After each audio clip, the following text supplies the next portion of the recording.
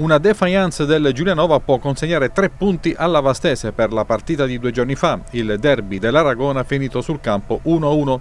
Il centrocampista giuliese Balducci, squalificato per due giornate nello scorso campionato, ha scontato la prima di queste giornate in Chieti Giulianova, ultima gara prima del lockdown. Poi è andato in panchina con il Vasto Girardi alla prima giornata di questo campionato e ha giocato a Vasto. Insomma, deve scontare il secondo turno. Domani il giudice sportivo potrebbe deliberare il 3-0 a tavolino, che lascerebbe a 0 il Giulianova e porterebbe a quota 3 la Vastese. Un regalo inaspettato per la squadra di Silva che più che compensa il meno 1 in classifica di inizio stagione. E in questi giorni il tecnico degli aragonesi avrà il centravanti che attendeva Antonio Martignello, come confermato all'Abruzzo del pallone dal DG Andrea Masciangelo. Martignello eh, ex Cerignola. Era anche allo stadio a vedere la partita, quindi diciamo che abbiamo trovato l'accordo, quindi eh, da martedì sicuramente si allenerà con noi. È una stagione particolare per la Vastese, magari con meno ambizioni sul campo, ma con l'obiettivo di una ristrutturazione dirigenziale e societaria che esplicherà i suoi effetti in futuro.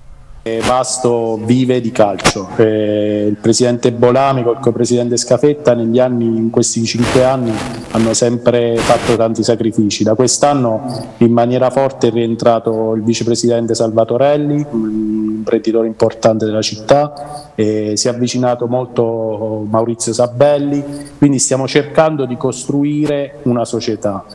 Stiamo iniziando a costruire qualcosa di importante guardando intorno, eh, abbiamo ristrutturato la sede, abbiamo cambiato il segretario eh, con una, un profilo diverso, eh, con questo le scuse sono state già fatte del Presidente, anche il punto di penalizzazione è dovuto tutto a un modo di lavorare eh, che prima era un po' diciamo superficiale. Invece adesso la prima cosa che Bolani e tutti i soci eh, vogliono, vogliono comunque una società professionale mm. e poi la squadra e questo diciamo che è un punto di partenza perché prima si pensava solo ad allestire delle grandi squadre, di grandi nomi, eh, però il primo obiettivo è avere l'ossatura, l'ossatura parte da noi, eh, lavoriamo giorno dopo giorno per cercare di migliorarci.